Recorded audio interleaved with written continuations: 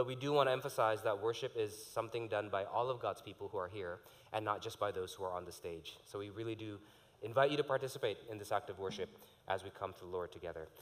Okay, so let me pray for us. And after I pray, we're going to stand up and we're going to read out loud together our call to worship today, taken from Isaiah chapter 55, verse 1 to 3. But before we enter into that time, uh, please join me in prayer.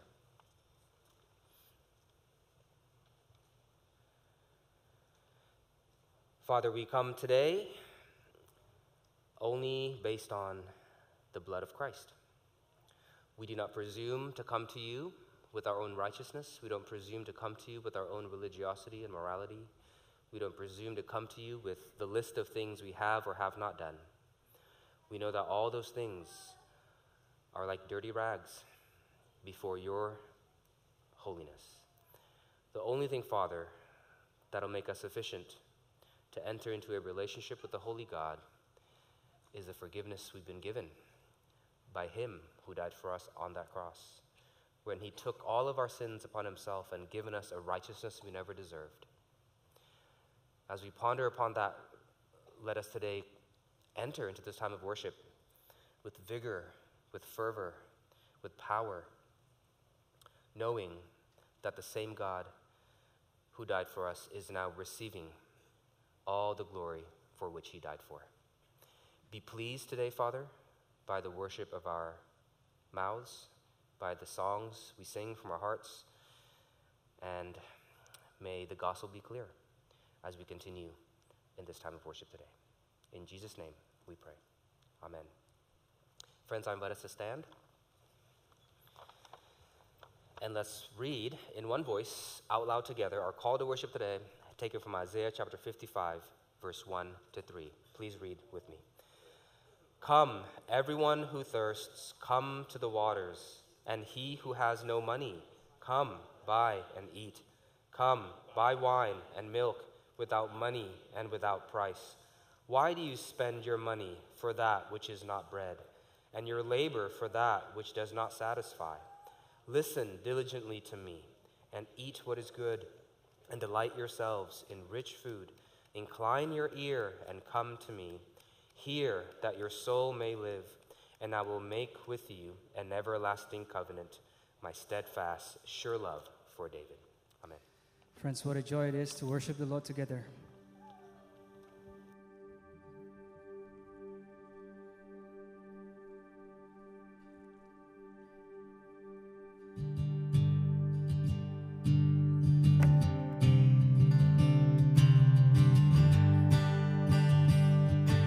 I was an orphan lost at the fall, running away when I'd hear you call. Father, you work your will. I had no righteousness of my own. I had no right to draw near your throne. Father, you love me still. And in love. And in love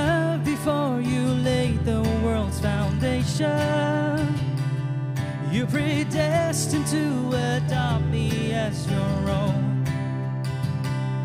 You have raised me up so high above my station. I'm a child of God by grace and grace alone.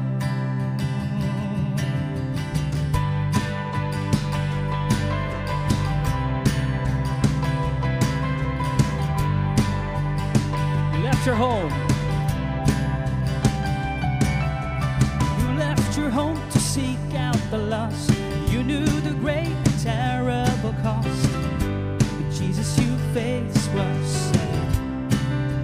I worked my fingers, I worked my fingers down to the bone. Nothing I did could ever atone. But Jesus, you paid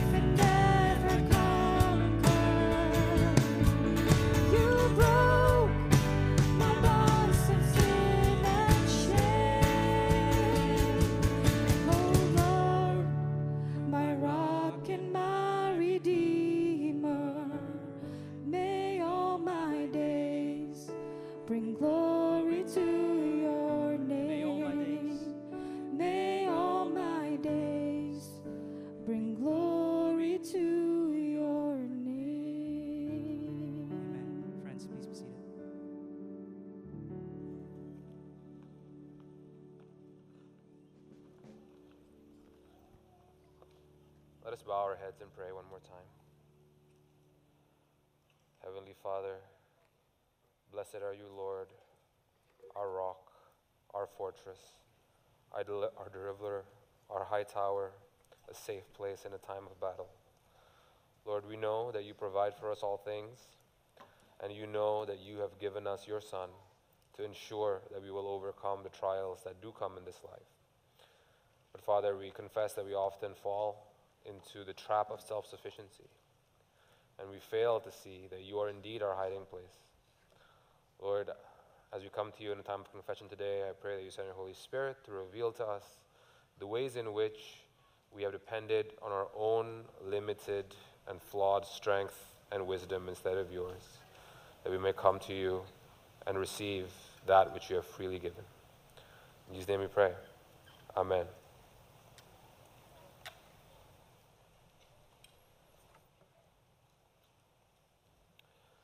So, uh, one theological concept that has really struck a chord with me in the past couple of years is this very much biblical idea of superabundance, right? And this is what the call to worship passage really brings out.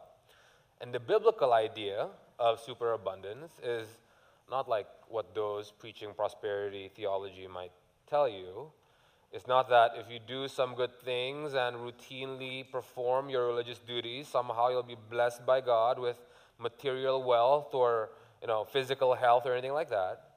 Rather, the biblical idea of abundance is that God, the creator of heaven and earth, has graciously and freely and generously provided for us. And that now He is actually inviting us to enjoy something that is much more satisfying and fulfilling than anything that money can buy.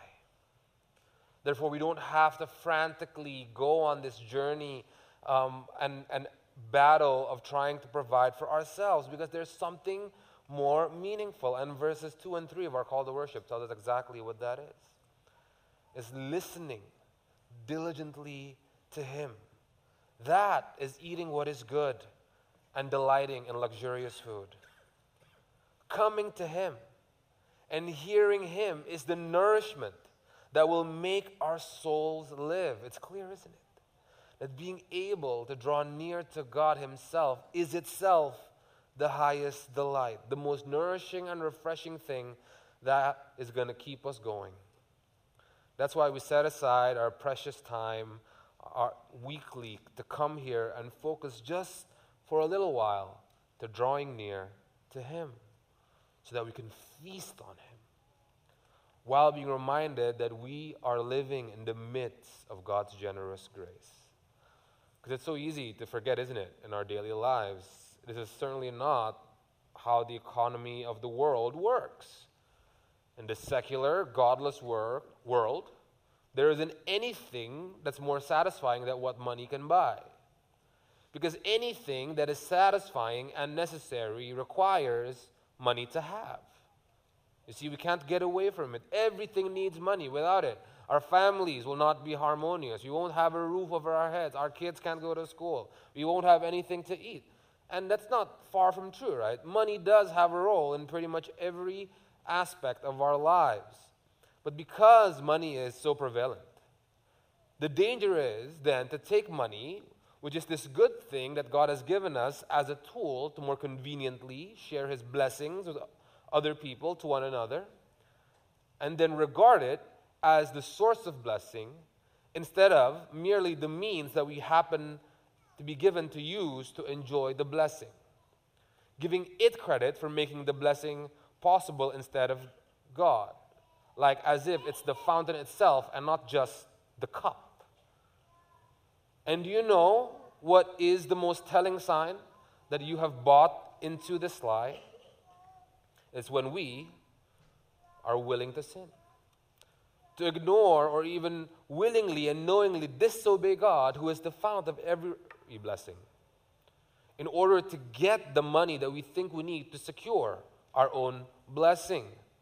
And then once we have the, our fill of what we want, we pridefully give ourselves credit for it, forgetting from whom was really all of our blessings given. This is what Agur in the proverb says he prays he will be spared of. He asks for neither poverty nor riches. Praying to God to not have poverty makes total sense. I'm sure we all share this prayer. But Agur has the wisdom to not want riches as well. Why? Because both states actually puts money in the center of attention, as the center of focus. And when we do that and start defining ourselves in terms of our money or how much money we have or seeing money as the solution to our problems, then we take it out of the roles as means where it is actually a good thing, and then we put it in the role of God and source where it can only lead to a rupture of relationship with God and eventually our own destruction. This is what our confession of sin text tells us.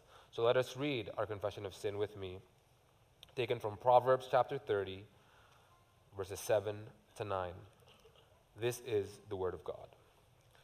Two things I ask of you deny them not to me before I die. Remove far from me falsehood and lying. Give me neither poverty nor riches Feed me with the food that is needful for me, lest I be full and deny you, and say, Who is the Lord? Or lest I be poor and steal and profane the name of my God. Friends, let us confess the ways in which we have made wealth our Lord and neglected our duties to the true Lord of our lives and our silent prayers of confession.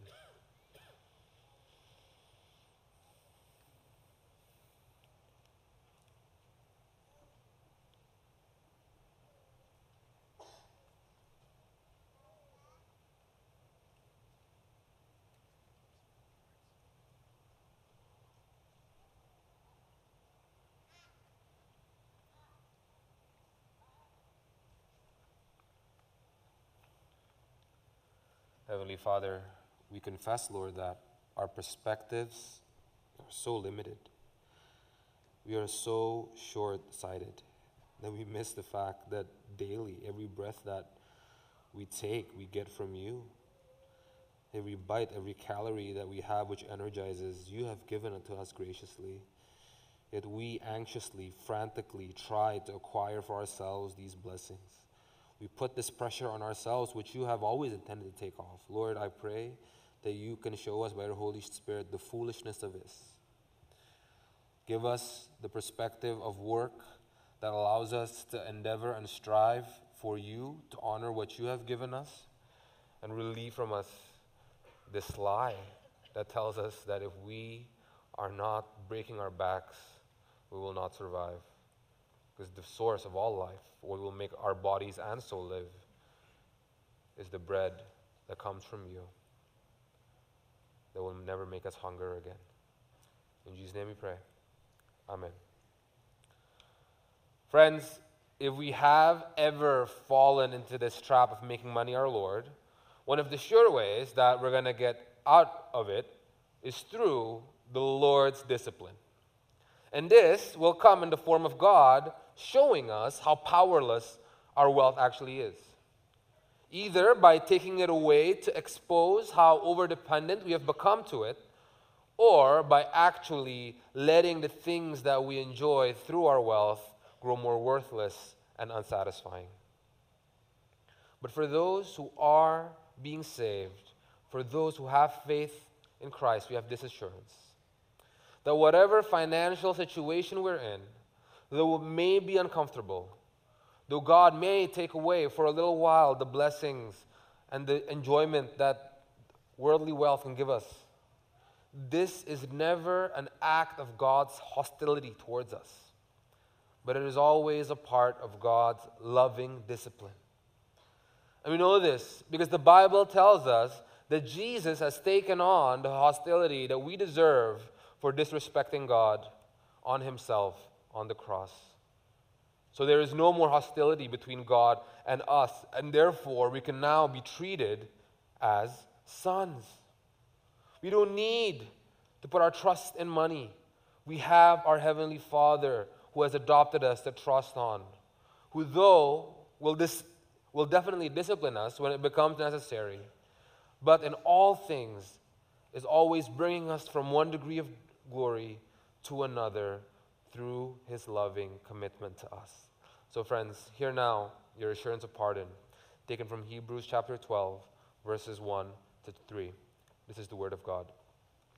Consider him who endured from sinners such hostility against himself, so that you may not grow weary or faint hearted. In your struggle against sin, you have not resisted to the point of shedding blood. And have you forgotten the exhortation that addresses you as sons?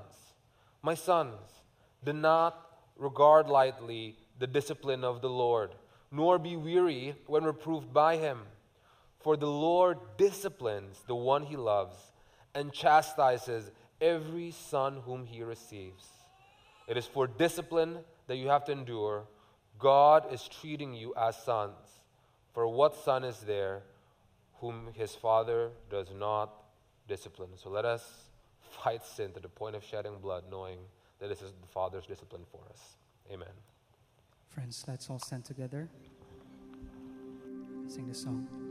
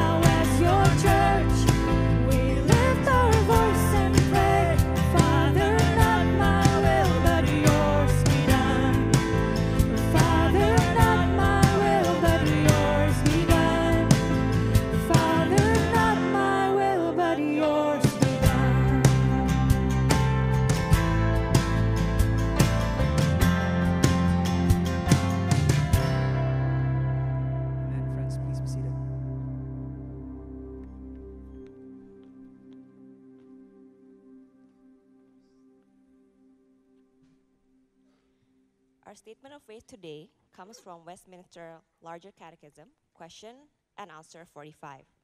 I will read the question. Please read out loud the answer with me. How is Christ a king?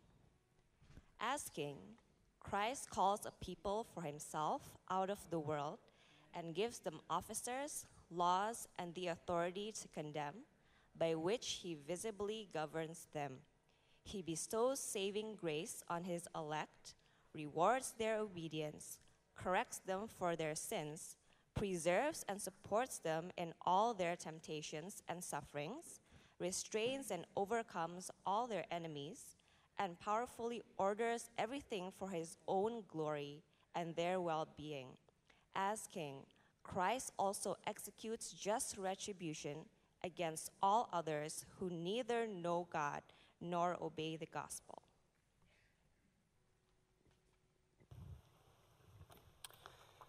Amen. Thank you, Jane, for that. And friends, if you're new to CCC and you're wondering why we read these documents, that's not from the Bible, uh, because they are summaries, uh, these documents, we believe, of what the Bible teaches. And we try to match what we read and learn that Sunday with the sermon uh, passage itself, okay? And as we'll see later, it's all about the resurrection of Christ. And as King is what we're going to learn uh, later. So, friends, as we enter into this time of uh, offering, uh, gifts and offering, just to remind ourselves again that if you're not a member at CCC, don't feel pressure to give to CCC, but we do want to encourage you to give to your local church, wherever it is that you're a member in, so that you can support their work and their ministry. But if you are a member at CCC, uh, then it is a duty and delight of the members of a church to help the sustenance of the church that they're in.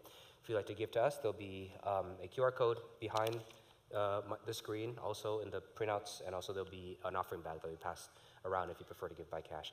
Just to summarize again all that we've learned so far, uh, the giving of our gifts or any good works that we do does not in any way make God love us more or less because his love for us, uh, those who have trusted in Christ as Lord and Savior, is secured and solidified and perfected on the cross alone. We do this not to earn love, but to express our thankfulness for his love upon which he has poured upon all who believe in him. So, friends, let me pray for us, and then we'll continue in our worship as we enter into our time of gifts and offering. Pray with me. Father, we thank you that you sent your Son. He who is rich became poor for us on that cross, so that we, through his poverty, may become spiritually rich. He said no to the world so that we may gain heaven. He died naked without anything so that we can be clothed in righteousness that was not our own. Help your church now, Father, respond to this great love and be uh, empowered in our hearts. Um, to worship you through all the resources upon you, which you have entrusted to us. Thank you, Father, and uh, be with us as we continue to worship you through our gifts and offering. In Jesus' name we pray. Amen.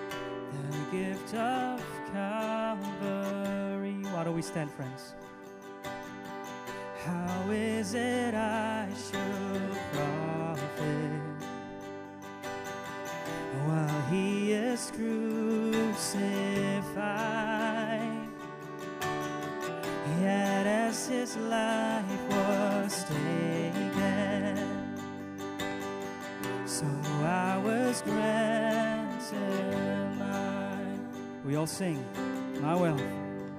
My wealth is in the cross.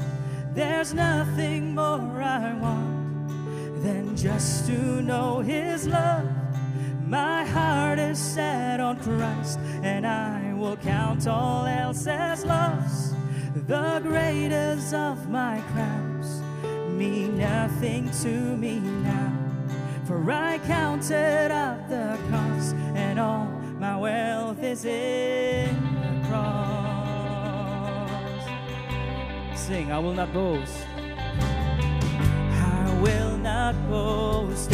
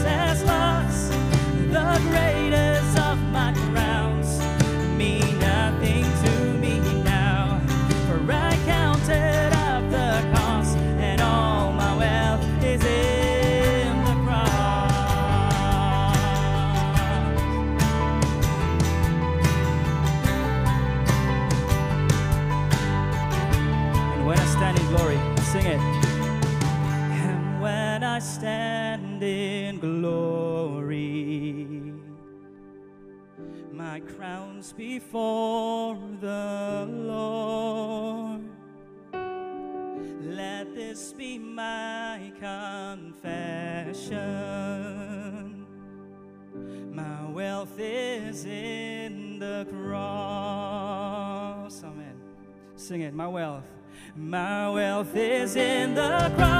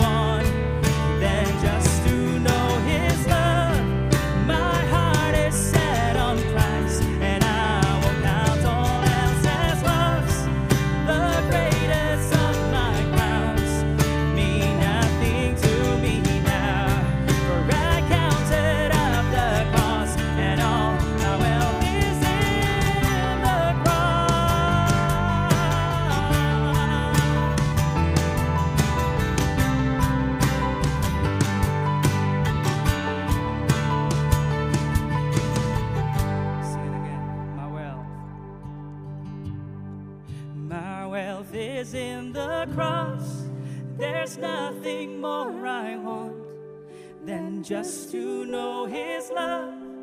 My heart is set on Christ, and I will count all else as loss. The greatest of my crowns mean nothing to me now. For I counted up the cost, and all my wealth is in the cross. Amen. Please be seated, friends.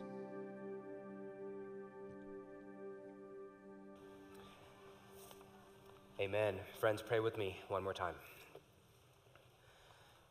Father, those words were easy to say and easy to sing, but it takes a lifetime to really truly believe in what we just sung and live it out. I pray that you be gracious, Father, not only to all of your children here, but also to this church, that we would use the resources that you've entrusted to us, um, not as the ultimate goal itself, but rather merely as a tool to preach your gospel, to worship your name, to bring about your glory here on earth as it is in heaven. And I pray, Father, as we do that, um, the, the other churches in the city will also join in this merciful grace upon you uh, that you will grant to us, that we would love you, the gift giver, more than the gift itself, whatever that gift may be. And Father, we also pray as we continue to pray for the health of other churches in this church, for the individual members in this church, that you may help us use our resources as we um, guide and disciple your people that you've entrusted to us here um, from birth till they see you again in glory. And Father, with that, we pray uh, for the two new births that our church recently experienced the son of Elias and Aaron, Isaiah Pribadi, and the daughter of Harris and Claudia, Ava Sky Gozali.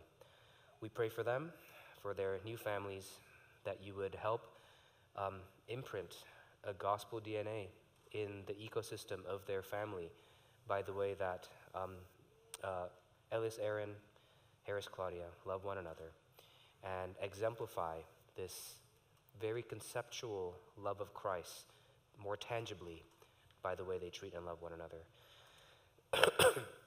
With that, Father, we also pray uh, for a few deaths uh, that our family members of our church members have experienced.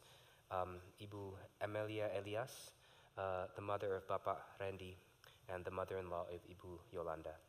And also pray for Theodore's aunt um, as their family also goes through a, a death. And Father, as we lift uh, them up to you, we know that you love and care for your people uh, and that um, uh, your gospel power will help endure them, we pray, as they go through the season of mourning. And Father, whether from cradle to glory, we rely upon you and we um, rest in the fact that you will bring us to the end. Protect us, Father, along the way, and allow this church to do its part in guiding your people there. Father, we end this time of intercessory prayer in the way that you have taught your disciples to pray. Our Father, who art in heaven, hallowed be thy name. Thy kingdom come, thy will be done on earth as it is in heaven. Give us this day our daily bread, and forgive us our debts as we also have forgiven our debtors. And lead us not into temptation, but deliver us from evil. For thine is the kingdom, the power, and the glory, forever and ever. Amen. Friends, welcome again to CCC. Two very quick announcements before I dismiss the kids. Uh, the first one, just a reminder for all of us that this is the month. Uh, there's going to be a few months throughout the year that we're going to encourage you guys to check in through Church Center, uh, just because the church is growing, which is exciting, but we also want to know and keep track about how our members are doing and where they're at. Um, so if you don't mind, for the month of November, just check in, tell us that you're here, that you're still uh, um, uh, coming to worship and uh, still amongst us. Uh, it'll be much easier for us to then keep track and, and, and, and uh, help and ask those who probably have not been coming uh, how they're doing as we seek them out. And also for parents, after service today, we're going to have a community group leaders meeting uh, here in the sanctuary. So if you if your children are in the um, children ministry, if you don't mind to uh, pick them up uh, right away, so that we can quickly move on to the next event we've got going on today. Okay, that'll be much appreciated. Okay. With that, I want to dismiss the kids. Uh, if you have your, if your children want to join the uh, Sunday schools for their age groups, go and exit to the door on my left. And as the parents take their kids there, uh, the rest of us, I want to invite us to stand up and let's greet each other in the name of the Lord.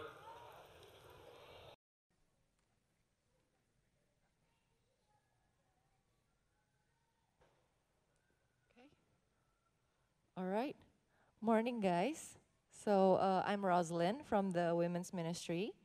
Um, just wanted to share an announcement. Um, I guess the most exciting time of the year it's coming, and uh, for those of you who will still be here, we will do paint and karaoke. Woo! Woohoo! So if you, you will still be here, uh, please join us. It will be on de- December 16 at 2 p.m. Uh, the location will be at Setiabudi area. It will be at uh, the Peak Sudirman apartment and uh, in the function room, and one person will cost uh, 60,000 rupiah. So please join us, and you can register through Church Center app um, by December 9th. Um, but it's, it will only be available by tonight uh, due some technical issue. So tomorrow you can register. Um, yeah, and um, hope you can join us. See you there.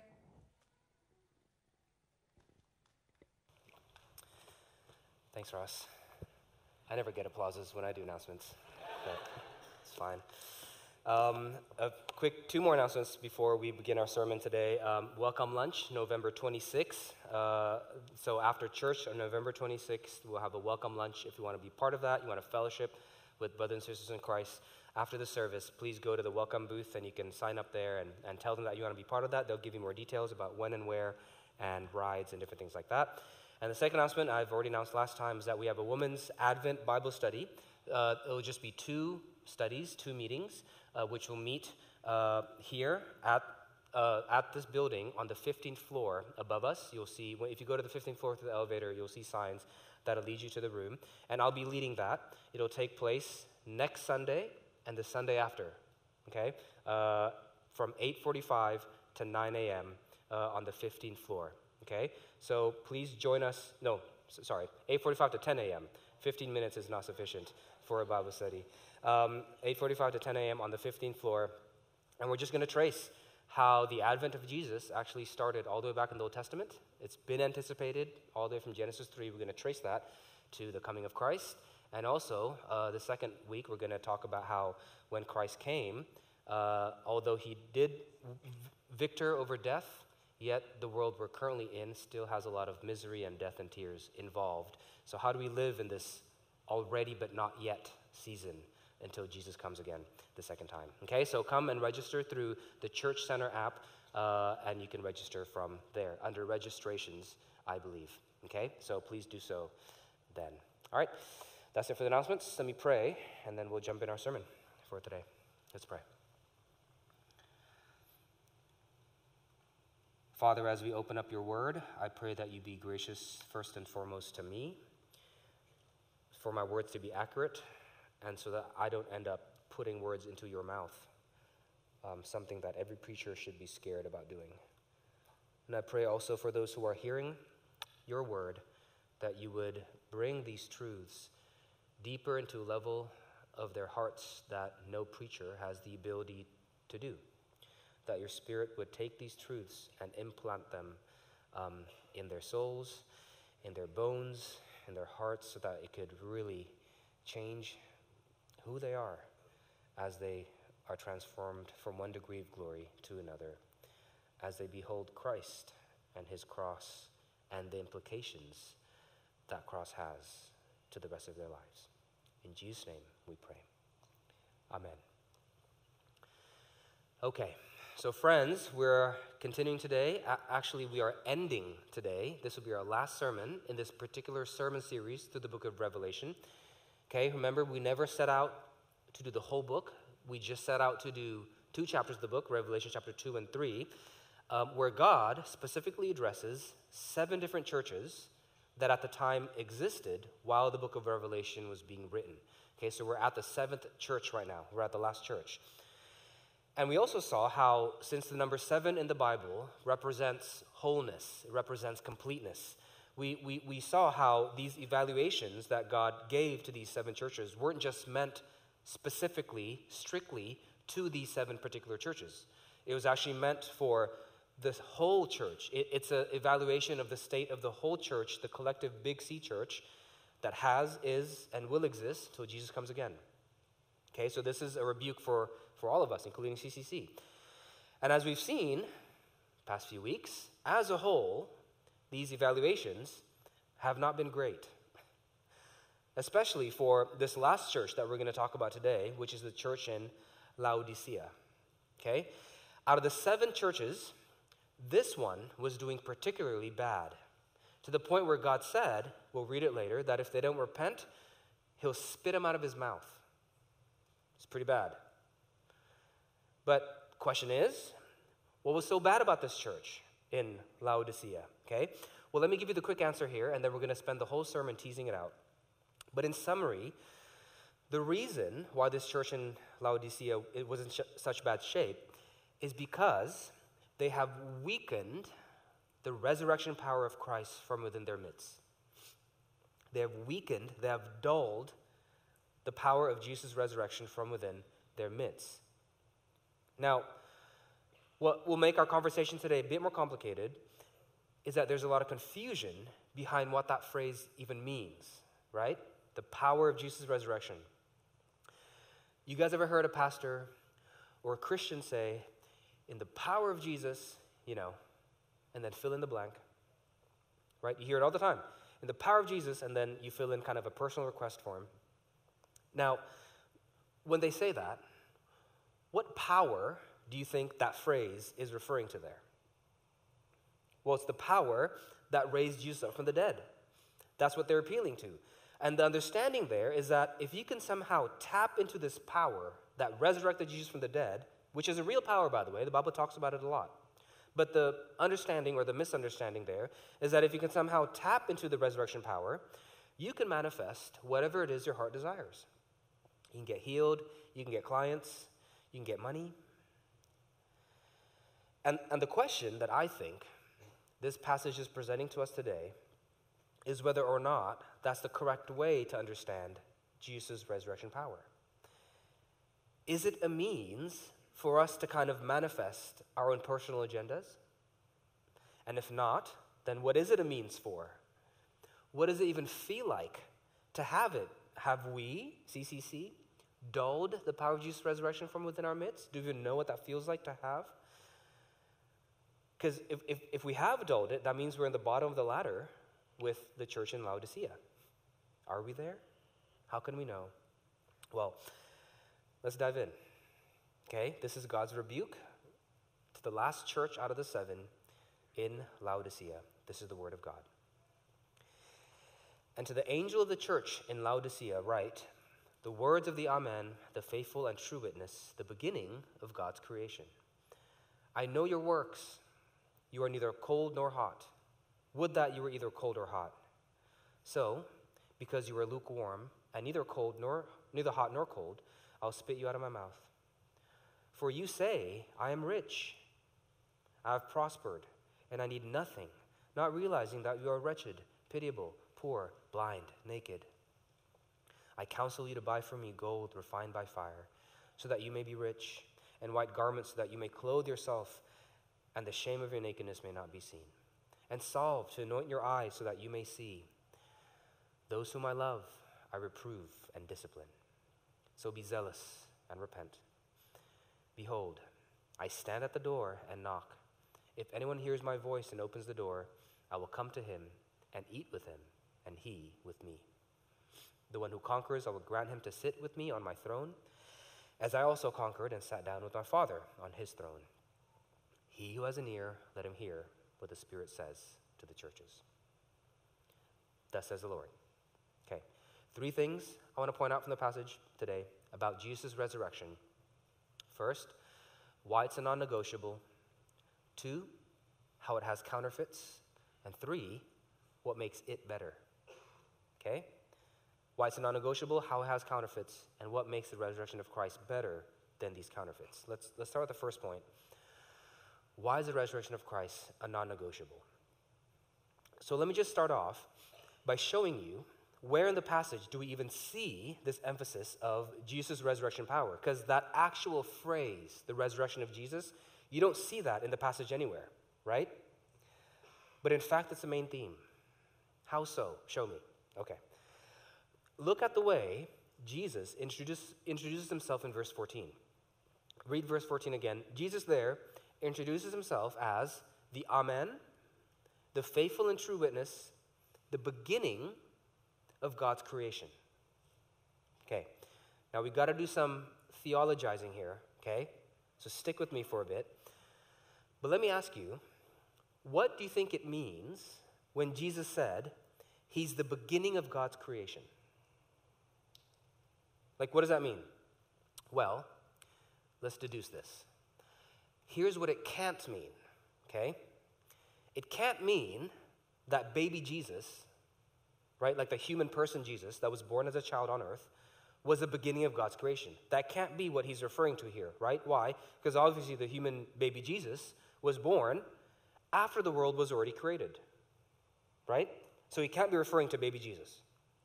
Okay, then some may say, maybe Jesus isn't referring to himself as the incarnate human child, right? But as God the Son, like the second person of the Trinity, who uh, be- existed before the world was created, who existed before he took on flesh and become a human being, right? Maybe Jesus is referring to himself as, as that. Now, well, that's a better guess, but I also don't think that's quite right either.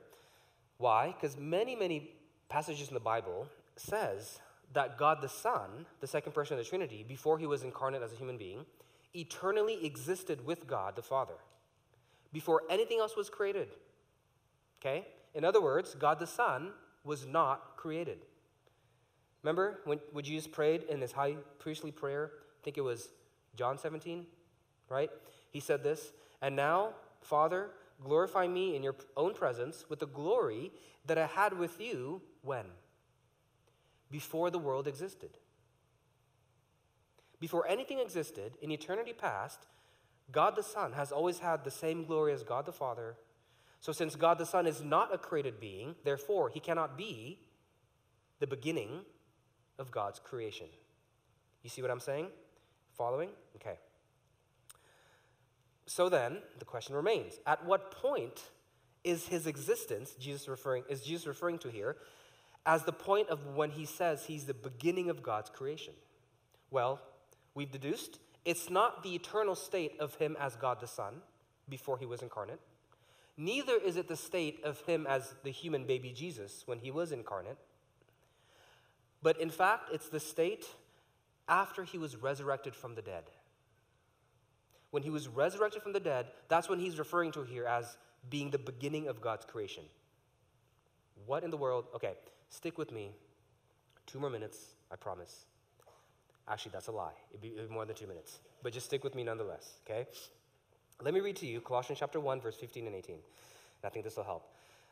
Paul says this. He says, He, Paul says, He, Jesus, is the image of the invisible God, the firstborn of all creation. There it is again, that theme of the beginning of creation, firstborn of creation. Okay, but what does that mean? Well, if you read verse 18 of Colossians chapter 1, Paul continues and he says this He's the beginning, he's the firstborn of all creation, he's the head of the body, the church, he's the beginning, the firstborn from the dead. This will all connect. Just hang with me. Paul in Colossians chapter 1 connects Jesus as the firstborn of all creation to being equal as a firstborn from the dead.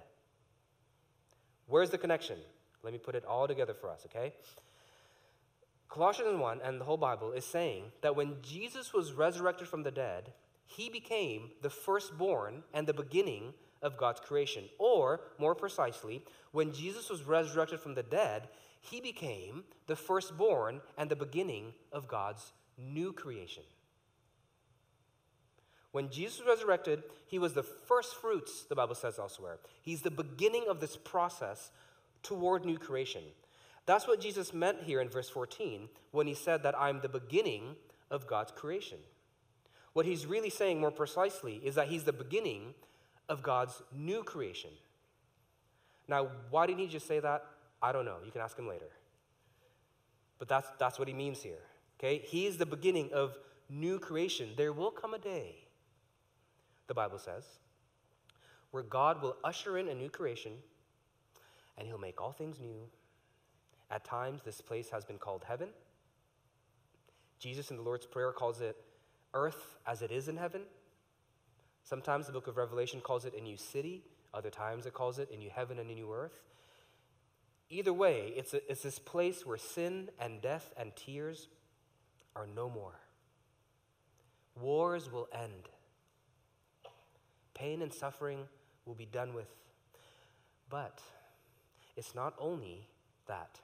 This is not only a place where everything bad will go away, but it's also a place, the Bible says, where everything true, good, and beautiful will finally find its origin. It's a place, C.S. Lewis famously said, where all the beauty that we've ever experienced in this world will finally found where it came from the deepest belly laughter you ever had with a friend, the tastiest bite of food you've ever chewed in your mouth, the sweetest song you've ever allowed to swallow you whole, the best shoulder cry you've ever had, the deepest loves your heart's ever stumbled upon. All of that, Lewis says, is but a scent of a flower we have not yet found, an echo of a tune we have not yet heard, and news from a country we have never yet visited. This country, this new creation, is where things are heading toward, God's saying. And the firstborn, the beginning, the pack leader that'll lead us there is the resurrected Christ. He is the beginning. He's the first man who's ever beaten death and therefore is paving a way toward this deathless world. That's what Jesus means here. And we Christians, we're called to journey with him toward that. But the reason why, friends, our Christianity often feels dead is because we're not doing that. We're not journeying with this resurrected Christ toward this new creation. Why not? Because at some point, we've turned Jesus merely into a debt payer instead of a pack leader. We've made him a debt payer, not a pack leader. At some point, we've watered down the gospel and defined it merely as Jesus dying for my sins. Now, don't get me wrong, it is that. My goodness, it is that. But it's much more than that. The gospel isn't just that Jesus died for my sins. The gospel is that Jesus died for my sins so that I can victoriously march with him toward this new creation as I become an agent of renewal throughout the whole way. That's the good news. That's the gospel. And the Christians in Laodicea stopped doing that. They stopped being agents of renewal who were marching towards new creation. They were neither hot nor cold, God says. They were lukewarm. Now, what does that mean? A little bit more background on that, okay? Not long. Back then, pre water purification technology, okay? A city was very dependent upon how good of the water source near them was. And the water source near Laodicea was, was a bad water source. Now, it just so happens that the two other cities near Laodicea had a good water source. One city's water source produced hot springs of water. It was good for healing wounds, it was good for other uses of purification. And the other city's water produced cold, good water for drinking, for other and had other life-giving qualities. But the water source in Laodicea was famously known to be useless. It had things in it that made it undrinkable, it had things in it that made it unusable, and the temperature of it happened to be lukewarm. And this useless, lukewarm water is the analogy God used to describe the Christians in this church. They weren't being agents of renewal who were marching toward new creation with the risen Christ. They weren't doing any of that. They were lukewarm. They were lukewarm. Now, don't get me wrong, these lukewarm Christians were still saved, born again Christians. How do we know that? Look at verse 19. God there says, or describes them as those whom I love, I reprove and discipline. You see, these people are people that God still considers to be what? His beloved. They were Christians, they were His. But their Christianity has become so powerless, so dead, that it's as useless as this lukewarm water. Maybe, I don't know, maybe they stopped sharing the gospel to their neighbors. Maybe they stopped participating in mercy ministry efforts that would renew the brokenness in their city as they show the gospel through word and deed. Lukewarmness can take many forms. But the point is, these guys have dampened Jesus' victorious resurrection power, and they're no longer doing gospel work through word or deed. And they're lukewarm. And if they repent, they'll be spat out. But see, the thing is, here's where it's tricky. I don't think they ever noticed this loss of power. I don't think they ever felt it. Why not? Because a very good counterfeit was close at hand. Let's go to our second point. How the power of Jesus' resurrection has counterfeits. Okay. Thanks for sticking with me through that technical kind of point, but I think that's necessary. But let me just summarize it real quick, okay, before we move forward. What, what we've seen is that if the power of Jesus' resurrection is truly present within our midst, we won't be lukewarm Christians, okay? But instead, we'll feel excitement and fervor and power that's going to drive us to become agents of renewal in the city that we're in. Okay? That's what it means to have Jesus' resurrection power in our midst. But the thing about this church in Laodicea is instead of having this excitement and fervor and power that will make them agents of renewal on earth, instead, in verse 17, they said this I'm rich. I'm rich that's what they said, literally. I'm rich, I've prospered, and I need nothing. Okay, now how in the world can being rich replace the excitement and the fervor and the power of Jesus' resurrection? Well, Because it almost feels the same, doesn't it? Every good counterfeit has similarities to the real thing. What do I mean? Well, do you remember how you felt, friends, whenever you came across a lot of money in the past? Some of y'all are like, I'm still waiting, Tez. Okay. Well, do you remember then how you felt when you roped in that huge new client? Do you remember how you felt when you lobbied that huge new deal? Do You remember how you felt when you got that exciting dream promotion or that dream job? Remember what you felt? Didn't it feel exciting and fervorous and powerful and victorious? Some might even say it felt like a resurrection of sorts. Hmm? A taste of new hope. Every counterfeit has similarities with the real thing. Now, by the way, do you know all that a pastor needs to say in order to keep you in his church after you experience that financial victory? You want to, you want to, I'll tell you a secret. You know what a pastor needs to say? This is all he needs to say. All he needs to say is this Praise the Lord. That was the power of Jesus.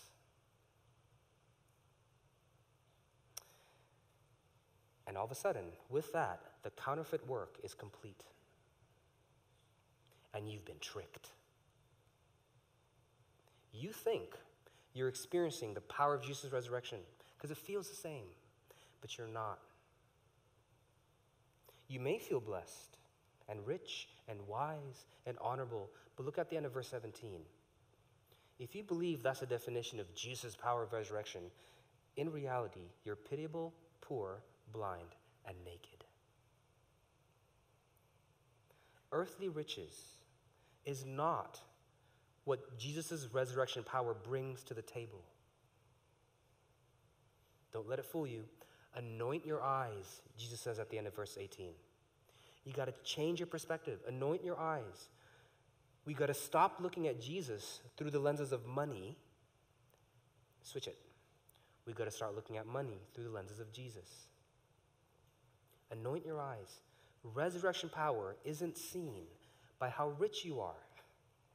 It's seen by how much you use your resources to be agents of gospel renewal on earth. Do you have resurrection power?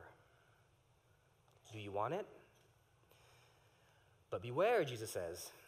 You want it, you might get it, but when you get it, your life is going to be much harder. It will. Your life will start to feel like gold that's being constantly renewed and refined by fire, he says in verse 18. So it's going to feel like. Why? Because when his resurrection power makes you start seeing money through the lenses of Jesus and not the other way around, your conscience is going to constantly bug you. It's going to bug you every day to reprioritize your resources for gospel work. Now, that doesn't mean that you should give everything away, okay? No, no, no. The Bible says to enjoy the fruits of your labor. That's good. That's right. That's fine. The Bible says that those who don't take care of their families are worse than unbelievers. There are many other godly uses for your finances. But still, even with all that, at the very least, we'll end up reprioritizing some things, right? Because none of us are perfect in that area. We will. And that reprioritization process will feel like fire. It'll suck. You know how I know? Because it sucks for me too. and I'm a pastor. It does. You don't think I take deep, long breaths before I give my resources away to various gospel work in the city? I do. Some breaths I take are so deep I have yet to exhale. it sucks. But that's the refining power, the refining fire that Jesus is talking about here. And if we stay true to that purification process, as painful as it might be, we will experience something that riches, Jesus promises here, could never ever counterfeit. What is it? Look at verse 20. We will experience a deep sense of intimacy with Christ. Look at verse 20. Jesus says that if you repent, if you actually let me in as the king of your heart instead of money, I will come in and eat with you, and you with me. Money's a great counterfeit, okay? It'll make you feel many things that the resurrected Christ can also make you feel excitement, fervor, power, victory. But you know, the one thing money can't do is it can't love you. It can't love you. It doesn't care about having a meal with you. It's not interested in a relationship with you at all. Which brings us to our third point. What makes the resurrected Christ much better than money? Okay? All right. Let's remember again who it is here that Jesus is primarily addressing. It's not non believers, it's believers, right? Born again Christians who he loves and reproves and disciplines, verse 19 says. You know, if someone else's kid acts up in public, I could care less, right? Whatever, it's someone else's kid. But if my kid acts up in public, guess what'll happen? You best believe. I'll discipline them, right? I'll put them in their place. Why? Because I love them. I feel ownership over them. These are people Jesus feels ownership toward. These are his people, born again Christians. But what makes this confusing is if these are born again Christians who Jesus loves, then logically, shouldn't they have already opened the door and let Jesus in? Shouldn't Jesus already be residing in the home of their soul? What does he mean then if you knock, I'll open? And you're absolutely right. Jesus should already be in their house. But see, perhaps he's still hanging out in the living room. There are deeper doors, you know, that lead to deeper rooms in your heart. And Jesus is committed to knocking on each and one of them. And see, money isn't. Money doesn't care about having a deeper relationship with you, which really is the problem with these counterfeit gods, right? We submit to their demands, but they could care less about us. They pretend to, but it's always, the Indonesian slang, PHP, right? It's always false promises. What do I mean? Well, okay. If you believe in money, for example, if you serve that as the ultimate thing in your life, you know what you'll feel? You'll always feel poor. You see, if you make your looks ultimate, you'll never feel attractive enough. If you make earthly honor ultimate, you'll always feel disrespected by everyone. If you make popularity ultimate, you'll always feel insecure. If you make your kids' success ultimate, they'll always disappoint you. You see? These counterfeit gods, they act like they care, but they never del- deliver on promise. They never do. Why? Because they don't care about you. They'll suck you dry with false promises. But Jesus here is saying, He is interested in you. He's knocking. And he actually wants to have a meal with you, a relationship with you. And you know how you know that he's not lying? You know that he's not lying by remembering how it is that you and him ended up in the same house under the same roof in the first place. How did you get there? Hmm? How did you and him end up in the same house to begin with? It wasn't because you worked really, really hard. It wasn't because you signed up for tons of overtime hours. It wasn't because you sacrificed your whole life for Him, like money will demand of you. No, no. The Bible says that you can be in the same house with Him because He worked really, really hard. Because He endured everything and because he sacrificed his own life for you. That's how you know he's not lying. Money says, Die for me, trade me with everything that really matters in life. Jesus says, I'll die for you so that you can have everything that truly matters in life. He's better. What do you mean money can't give you things that matter in life, Tez? That's naive. Money buys everything that matters in life. anoint your eyes, salve it. If you don't, you will continue letting the wrong king in. And it's absolutely crucial for the right tenant to end up in the central heart control room that you have. You got to be careful who goes in deeper. One king will kill you, the other king died for you. It's your call. Will you anoint your eyes? Will you endure the painful process of resource reprioritization and continue to let in the right king into those deeper doors? Or will you continue to be fooled by a counterfeit power that feels like but is not the power of Jesus' resurrection? It's your call. And what's scary is the health of this church is fully dependent on those calls that you make. But this is where my jurisdiction ends. I can't open those doors for you. So I'll stop here. And I'll end in the way that Jesus ended all of these rebukes to these seven churches. He who has an ear, let him hear what the Spirit says to the churches. Let's pray.